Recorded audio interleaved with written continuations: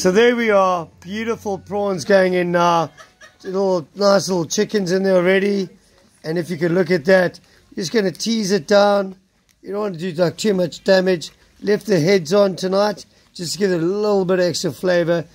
Guys, this isn't going to take too long. I think this is going to be at least like, I don't know, five minutes.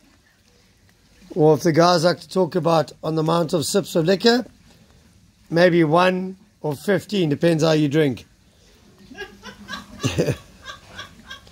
so here it is, crocodile and prawn potjie. You do it the same way. You do it the same way. Taste, crocodile tastes like chicken.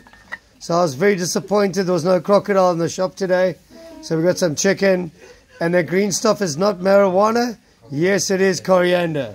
Catch you guys on the flip side. Hope you're liking what you're seeing. Oh yeah. Peri peri.